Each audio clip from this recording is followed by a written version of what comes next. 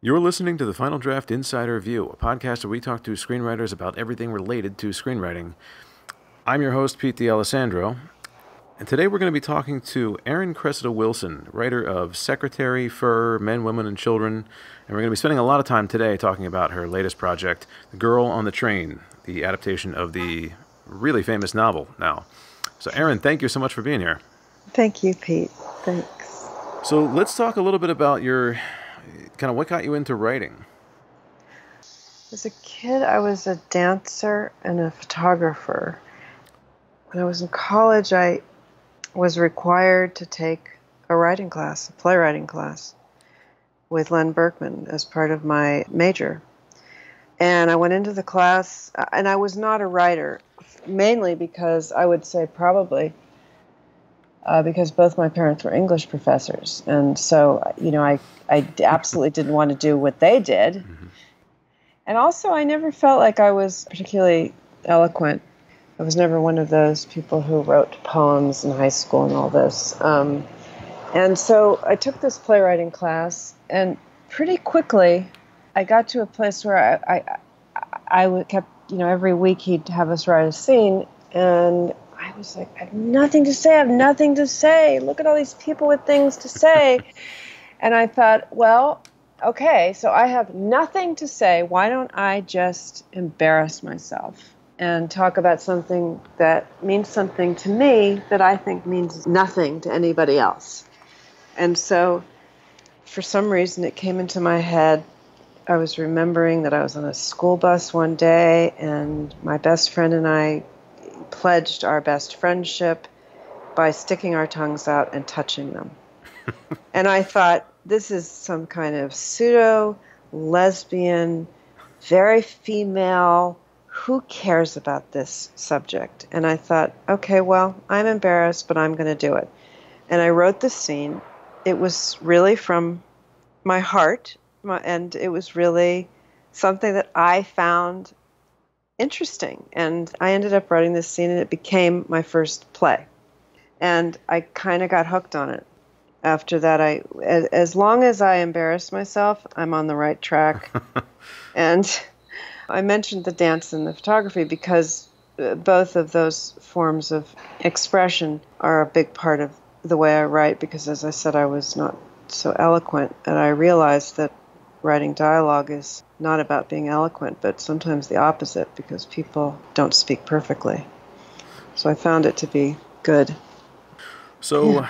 after college, I mean, I know you you had a long stint teaching screenwriting, and I really wanted to hear that because you started teaching at Duke. Is that right?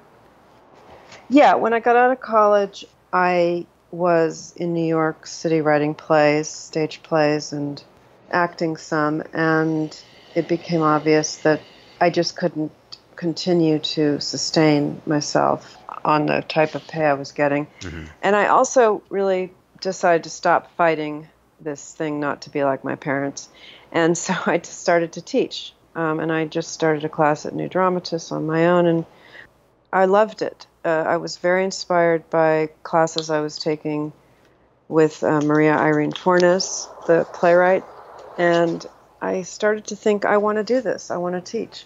So yeah, I started with a professorship at Duke, and I was teaching playwriting, and then they needed someone to teach screenwriting. I had never written a screenplay, and I taught myself to write a screenplay by teaching it. It really helped me. You know, as I said, I, I didn't feel I was eloquent. So by teaching, I learned to speak, really. I really came out of a very shy, quiet place. And I was forced to describe to students and to give them feedback and to come out of my shell, out of mm-hmm. my weirdo artistic shell, and not only give, but also learn to articulate what it is that I wanted to do with my work. So the teaching is really dovetailed, you know, it's, it's interlaced with my creative work a lot. Yeah, it sounds like it has. I'd be really curious to see, uh, to know what those lessons were that you learned in the early days of teaching screenwriting? What, how did your perspective change? Well, it was really eye opening for me because I was coming from a playwriting background, and though the well made play is generally the play that one sees on Broadway and most off Broadway. I was coming from a pretty downtown scene in which nonlinearity was very popular, and I really was naturally nonlinear. I had no problem with character and, and feeling and emotion and complexity, but I did not really tell linear stories. And I didn't think there was anything wrong with that, but by the time I got to teaching screenwriting, I, I had to take that Sid Field book that I had tried to read for 10 straight years every time I took a subway. And I had to say, this time I'm going to read it all the way through and I'm going to get it. Because the problem with the book, I think the book is amazing. And a lot of people are shocked by that. I think the book is very problematic because if you take it literally, it just has no juice in it. But it's not meant to have juice. It's not about the juice, it's about the bones. Right. And the book really teaches you the bones. And we all know story in our DNA. We all know how to tell a story. But when you're writing a screenplay, I really do feel that you need to take the time to break it down and know what your page one is, your page three, your page 15, your page 30, your 60, your 90. Mm-hmm. So by being that pedantic about it, I really feel like if you make a very strong structure, you can be as crazy as you want to be. You can say anything you want.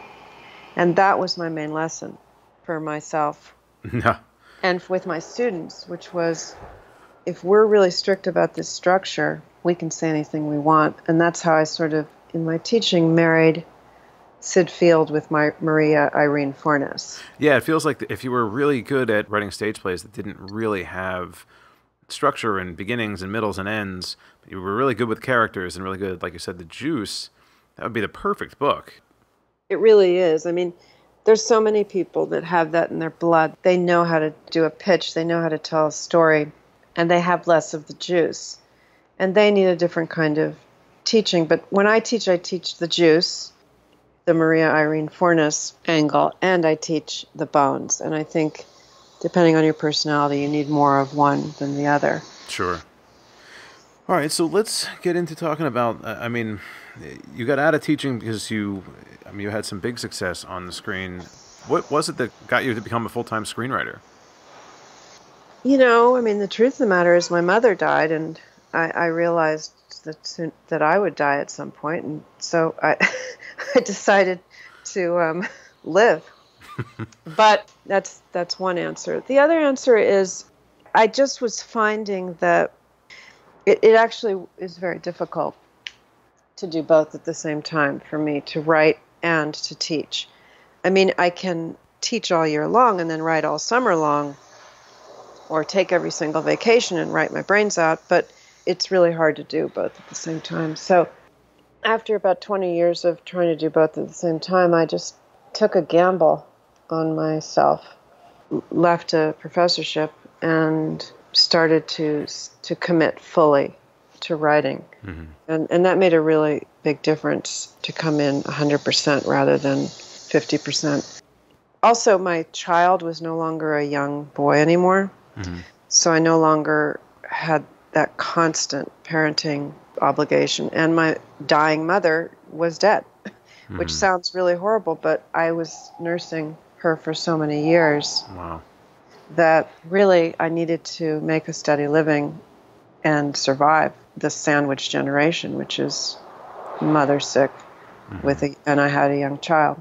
So took this chance, but I kept I keep teaching at Sundance Institute how has that been different? How, how is you're teaching a very different format there? What kind of stuff goes into that? Yeah, I'm dealing with usually young, um, multi, you know, from all over the world filmmakers who are doing what I, you know, had always wished I could do. Hmm. And rather than having an ounce of jealousy, which I don't really, I don't know if I even have that, for some reason, that button, I am incredibly inspired and proud that they can do this and maybe I'm living vicariously through them, but I feel like I learn as much from them as, as they do from me. And a lot of the work is one on one, which I really, really like. I always sort of pinned my semester on two to three individual meetings per semester. I, I really felt that that individual attention was was when I hooked in with each student, and it made the entire class work much better. Um, so at Sundance, since a lot of it's individual meetings, it's actually my favorite thing is Wow. is teaching one on one because you can adapt it to their individual needs. Sure, and I mean, I think so many people need that. Uh, I certainly have benefited from that anytime I've gotten it. Well, let's uh, fast forward to talk about how you got involved in Girl on the Train. Uh, I know that you were writing this before the book was even published. So, how did that come to you?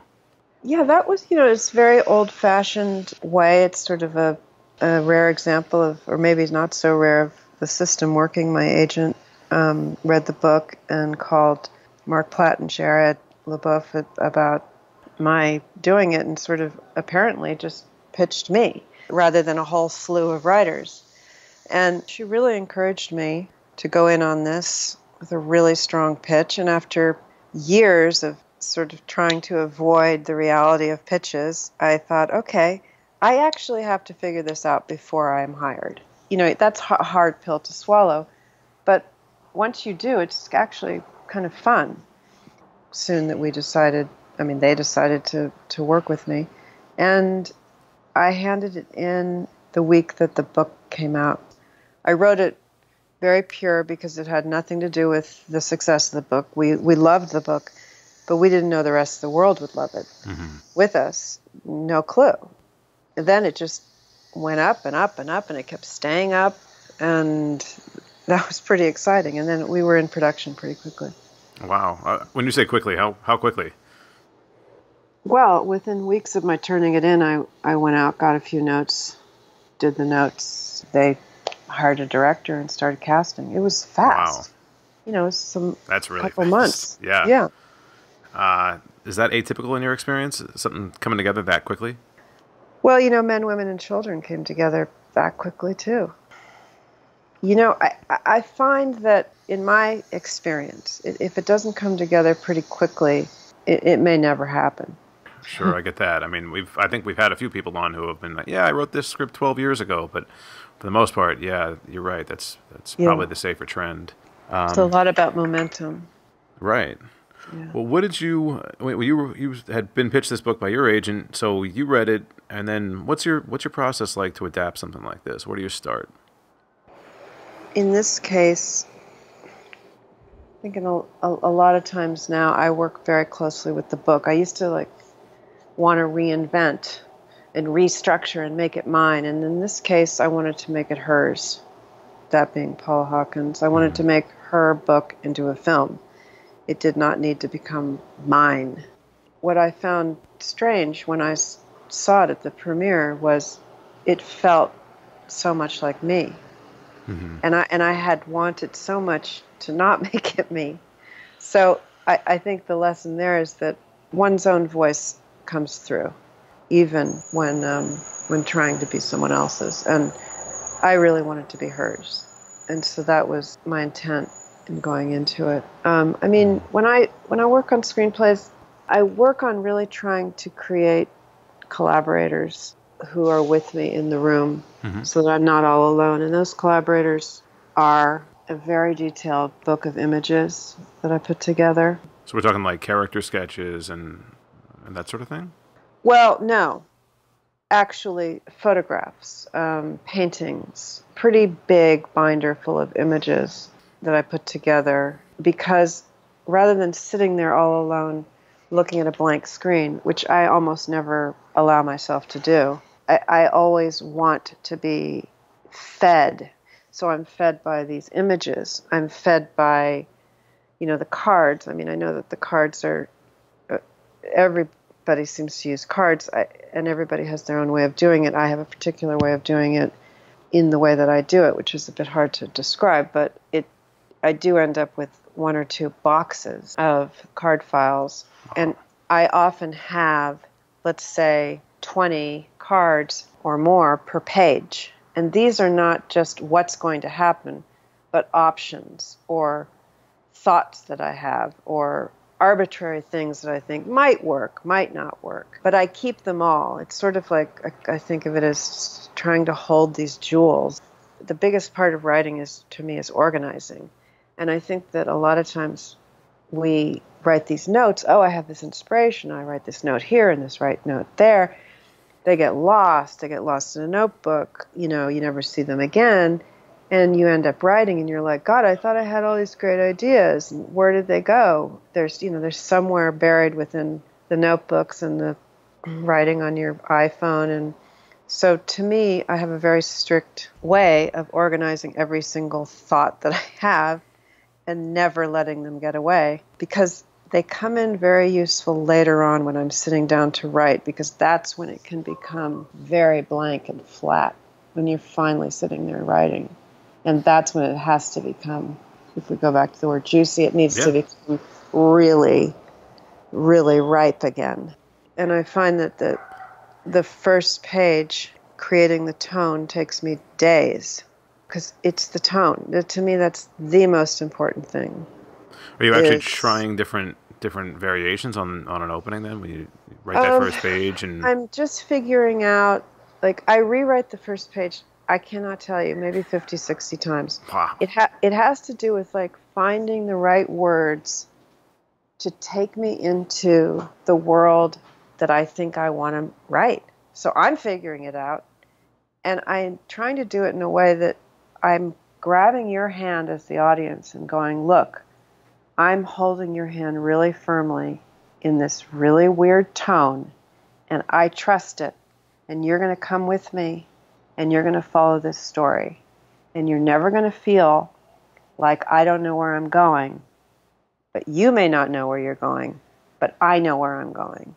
Mm-hmm. And I think that that's why the first page for me takes so long. And then after that, because I so outlined so much, it can go very fast. I can do 10 to 20 pages a day. What I do, though, however, is every single day I read from page one to the page that I got to, and I rewrite it. Wow. And I, then I get to where I'm at, and then I write 10 more pages. So every single day I'm sweeping over it because really I'm trying to hold a story. I think that surgical writing for me doesn't really work because I'm holding a puzzle, and if I switch a piece, I need to rebalance the rest of it. Okay, that's that's great advice. Um, I I think that reading all that all that material, I feel like that might slow me down, but that doesn't well, that doesn't happen to you. You know, I was ice skating with my son the other day, and he kept trying to go fast. And mm. I hmm. said, if you skate really slowly, focus on really slow skating, you'll find you're going really fast. Hmm. It's true. And I think it's the same with writing. If you just stop and read it every day and fix it. You'll go much faster than you will if you're racing. That's fantastic advice. I had read one thing that you would actually tried to put the the whole or that you have put the whole book into screenplay format before you really get into anything. Uh, while you're not losing any material, but yeah. So when did you start that? I don't think I did it with Girl on the Train, but I did it after that with Maestra because I was just finding that, again, because I've made this commitment to write in the voice of the book, and because I've been dealing with such incredible writers of the original material, that I want to have it all there so that if I miss anything, it's it really is my fault. I mean, I I well, it would be anyway. But the thing is, but it's really hard to hold on to it if you don't have it there on the page. It's kind of like I mean, I think I've said this, but I'm sort of teaching the novel to be a film, and in hmm. order to teach it, it has to be there on the page, and then I need to start reworking and reorganizing and moving it all around. Uh, and it becomes this puzzle of what is it that you take away, what is it that you add. It's really fun. I, it does feel like a puzzle when you describe it like that. That does sound great. It is. What were some of those changes? What were those some of the things you take away and, and some of the things you add between um, you know, between the book and the movie, but but even just between different drafts? Well, I mean, I really had to balance memory and three different POVs and flashbacks and false memories. So that mm. was the biggest balancing act of all. You know, th- there would be these lines like, I think uh, Megan in the film has a line that a train can rip the clothes right off of you. Mm-hmm. I read somewhere that, and that was Rachel's line in the um, book. It was one of those things like, I have to use this line, but but it really wasn't in terms of the movie a Rachel line. Uh, yeah. It, you know, it may be in the book, but not not not in her incarnation in the film. Mm-hmm. So it really felt like a Megan uh, Megan line, and I think that doing that sort of switching, who says what, starts to define who the character is for me and helps me figure it out, sort of cart before the horse. what kinds of changes do you wind up making when you guys go to set? You're, you're in production. Were you involved at that point? Well, I was on set actually in Grand Central with Paula Hawkins. We were extras. And I was on set in the studio a bit, but I, I didn't. I think there was some improv on some of the lines that I thought was amazing. Like, particularly, I noticed Justin Theroux, His lines felt better, you know. Also, the, the male rage felt better for mm-hmm. me uh, once it was directed by a man. Hmm. Um, like I had a pretty firm handle on the female rage, but I think that the ending got much more fierce from the male point of view. Interesting. There was another big change between you know the book and the movie, uh, in that it's set in America. Um, where did that decision come from, or can you talk about that? Um, yeah, I mean, I when I read the book, I thought it took place um, on a train, and oh. then I thought, and I thought it took place in a woman's mind. Hmm. So I didn't, I didn't really think it took place in England. I mean, that's just not my perspective on it. It, it didn't resonate as a particular English book. Sure. I mean, I'm, for instance, adapting Maestra, which is a very English book. It would be weird to take it out of England, but she had uh, Paula Hawkins had used so you know the argot and the and the references were not enough to make it to make the transition very big and right. so in order to make it a film that I knew how to write from my experience I, I put it on the on the Hudson I thought that was a nice a beautiful beautiful line along the river and with those backyards to the right where you see all these lives. It looks like it's so perfect. And as you're coming out of the depths of New York City. Right.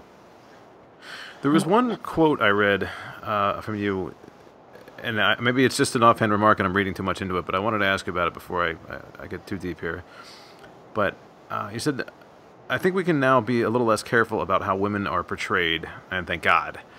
uh, and I thought that was really a great sentiment that you know we have this character in Rachel who's certainly not perfect. Um, do you think that's been a mistake Hollywood's made in the past, is to be afraid to portray anyone in a negative way, and therefore we wind up with bland characters? Yes, I think it is. But I, I think we also like to see bland characters. I mean, I think we need both, hmm. really, within our entertainment. And I think that we want and need complicated characters, but frankly, I, who write, I think, I hope, complicated characters, I will gravitate towards watching things with simple characters because I want that when I watch entertainment. I want to relax. You know, I'm the most middle America audience there is, even though I don't write Middle American wow. films, or maybe I do now. I don't know. Let's hope. uh, but, but you know, I just think it depends on your personality, what you desire. Do you want to sit down and watch something complicated because your life is too simple, hmm. or or do you want to watch something complicated because it reflects the complexity of your life? I just think we have a lot of things in us that different reasons for watching, and I know that for me my day is so full of complex puzzle. I just want to watch something simple. Having said that, when when I started writing 70, 75 centuries ago, was called pornographic. I mean, I was actually censored in in in a play that I wrote in Mill Valley. I, you know, I couldn't write about women's desires in the way that is now happens constantly on shows like Girls and just happens all the time.